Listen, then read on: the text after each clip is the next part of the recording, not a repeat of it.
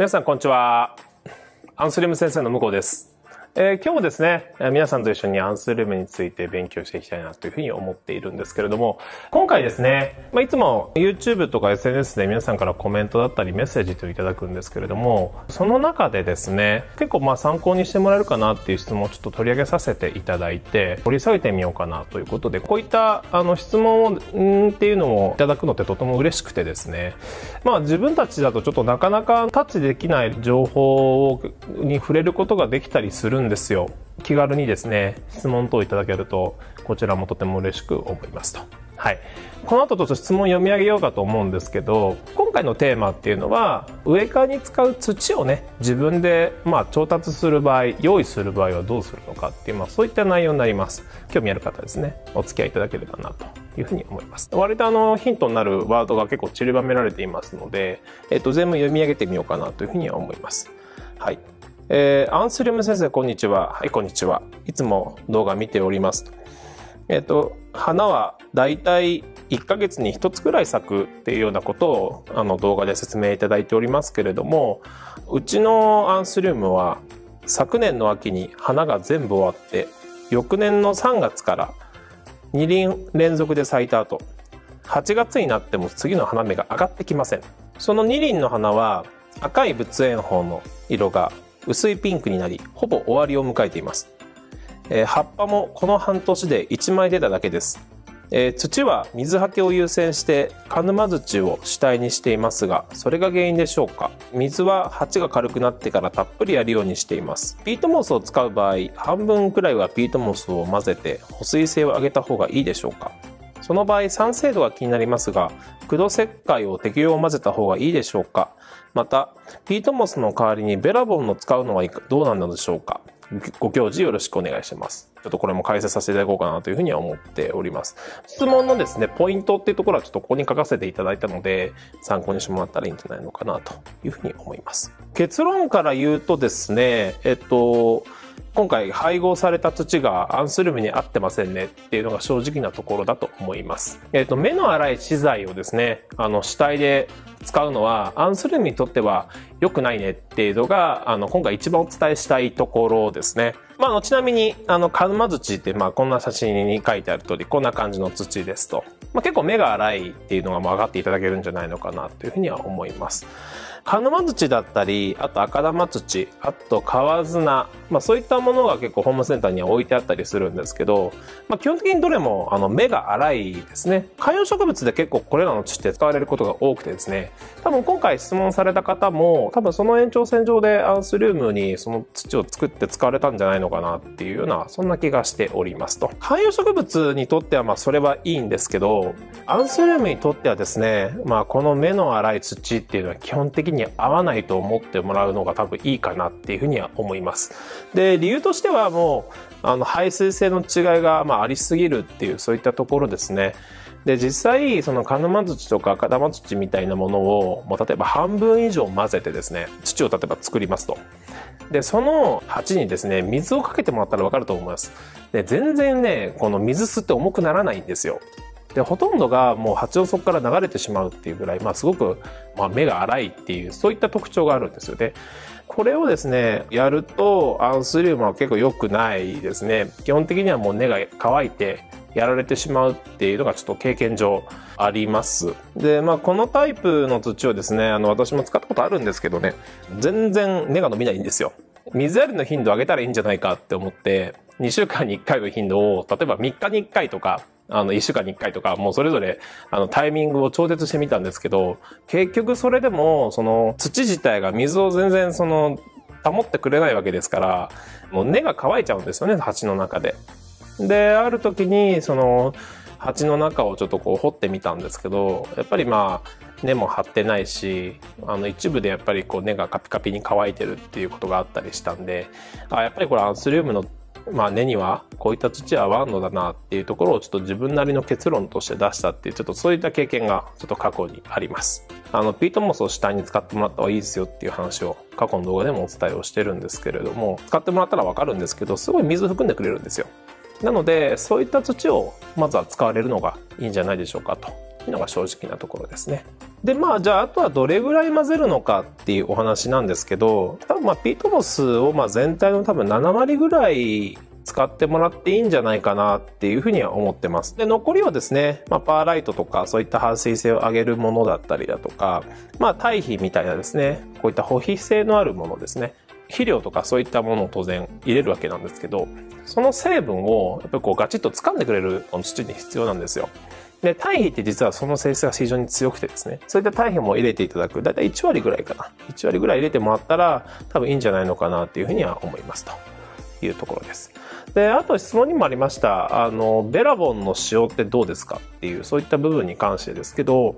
ベラボンって皆さんご存知ですかね ?Google さんで調べてもらったらわかるんですけど、あの、ヤシ柄を加工した資材ですね。特殊な加工をしていて、ポトスとかそういったものにま使えるようにしたっていう、そういったものです。で、動画とか見てみると、このベラボンだけでこのポトスを育てたとかっていう動画があったりしたんで、多分まあ一般的な観葉植物は結構これは使えるものなんじゃないのかなと思うんですけど、見た目の通りですね、ベラボンって結構目が粗いんですよ。水を吸うとすごく体積が膨らんで、で、乾くと、あの、体積が結構縮むっていう、結構そういった伸縮性の高い実は素材っていうのもあって、乾いた時にその波長の中がスカスカになってしまうっていうのを結構自分はちょっと怖いなっていうふうには思ってます。もし使うのであれば、あくまで補助として使われるのがいいんじゃないのかなっていうふうには思います。まあ、比率としては1割ぐらいに留めておくのが一番無難なんじゃないのかなっていうふうには思います。まあ、ブラボンのね、あのファンの方って結構いらっしゃるんですよ、この素材ね。あの、ご興味ある方はぜひそのアンスリウムもですね、ちょっとこれ試してみていただいて、ぜひちょっと教えていただけたらとても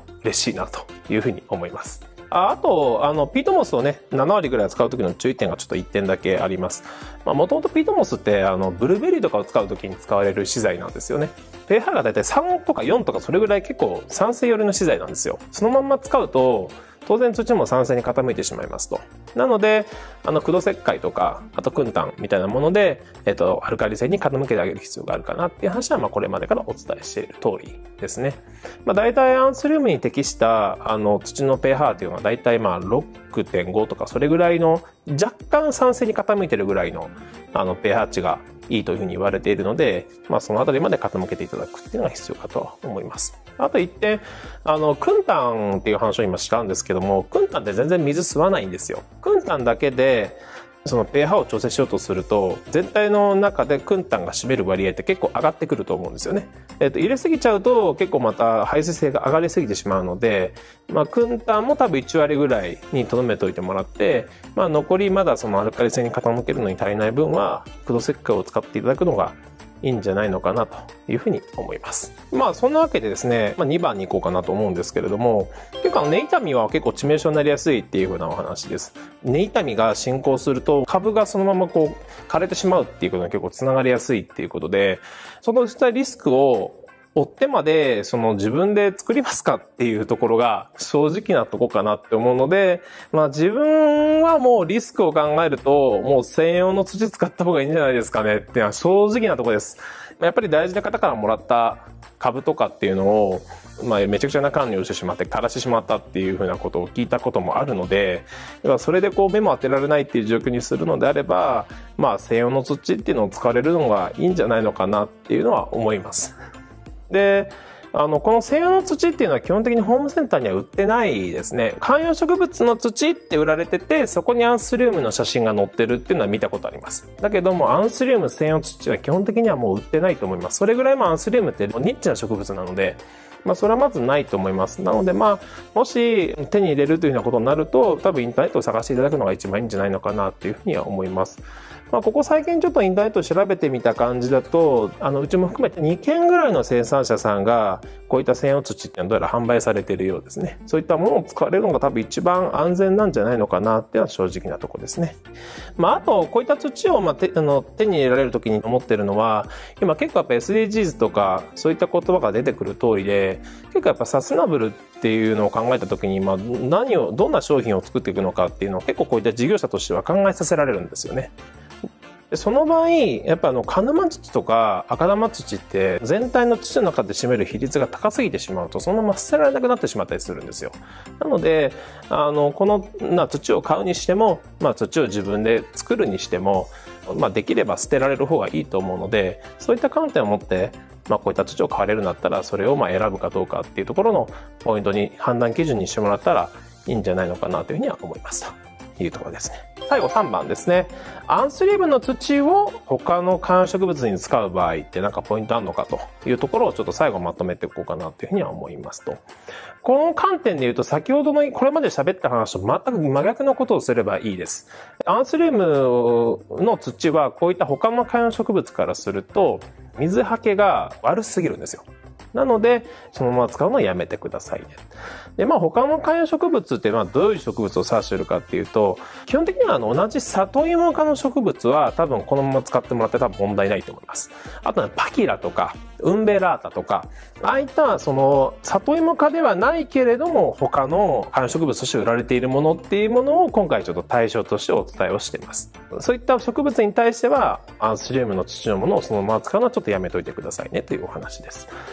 具体的にはどうするのかっていうと、えっ、ー、と、このアンスリウムの土の比率自体はだいたい3割とか2割ぐらいに下げると。それ以外に、カヌマ土とか赤玉土っていうようなちょっと目の粗くて排水性を上げてくれるものっていうものを、えっ、ー、と、比率を上げてくださいっていう、そういったお話ですね。これで一律その観植物が上手にできるよっていう、そういったあの配合みたいなものっていうのは合ってないようなもんなので、まあ基本的にそのお手持ちの植物の名前っていうのを調べてもらって、それまあ Google さんとかね、YouTube で多分検索していただくと、多分植え替えの方法とか、こういった組み合わせをするといいですよっていう情報は結構出てくると思います。こういったものを参考にしてもらって、今後の植え替えをされる際は参考にしていただけたらなというふうに思います。以上ですね。はい、あの、まとめておきます。まあ、今回、質問者さんからね、いただいたものをちょっと回答させていただきました。まあ、質問の主な、えー、と内容としては、これ、これらの3つに関してっていうところですね。結論としては、目の粗い資材は主体では使わない方が、アンスリムにとってはいいですよっていうことをまず、あの、まとめとしてさせていただきましたと。それぞれの理由としては、アンスリムには、えっと、目の粗い土は不向きであるよっていう話をさせていただきましたと。なので、ピートモスみたいなですね、水を吸う資材を使うといいですよっていうような話をさせていただきましたと。ベラボンについてもちょっと話をさせていただきました。あくまでこれは補助で使ってくださいねっていう話ですと。で、ビートモス自体には保肥性って実はあんまりないので、えっ、ー、と、保肥性のある堆肥っていうのを一応混ぜてもらった方がいいと思いますよっていう話もさせていただきましたと。えっ、ー、と、2番ですね。で、痛みっていうのは致命傷になりやすいですよっていう話をさせていただきましたと。土の配合比の加減を間違うと、本当に被って枯れてしまうので、まあそういったリスクを考えると、まあ専用の土を使うのが無難なんじゃないでしょうかっていう話を2番にさせていただきました。あと最後ですね、3番。他の観葉植物にアンスリムの土を使う場合っていうことは、まあ、これまでお話したことの逆をしてもらったらいいですよっていうのがお話ですと。まあ、そのまま使用はダメですねっていう話と、まあ、金マ土とか赤玉土みたいな、もうちょっとこう目の粗い土の比率を上げてくださいねっていう話。まあ、あとは、それぞれお手持ちの植物の名前をですね、あの、インターネットで検索してもらって、植え替えのヒントにしてもらうと、多分失敗のないあの、植え替えができるんではないですか？っていう話を、あの、ここまでさせていただいたという、今回はそういったお話になっております。聞いていただいてですね、ためになったよっていう方はぜひいいねボタンを押してもらったり、あの、コメントも、あの、前向きにいただけるととても嬉しく思います。チャンネル登録まだされてないっていう方は、あの、このチャンネルね、まあ、結構勉強になるなっていうふうな、あの、ことを思っていただけるようでしたら、ぜひ登録もしていただけると嬉しく思います。また来週お会いできればというふうに思っております。さよなら。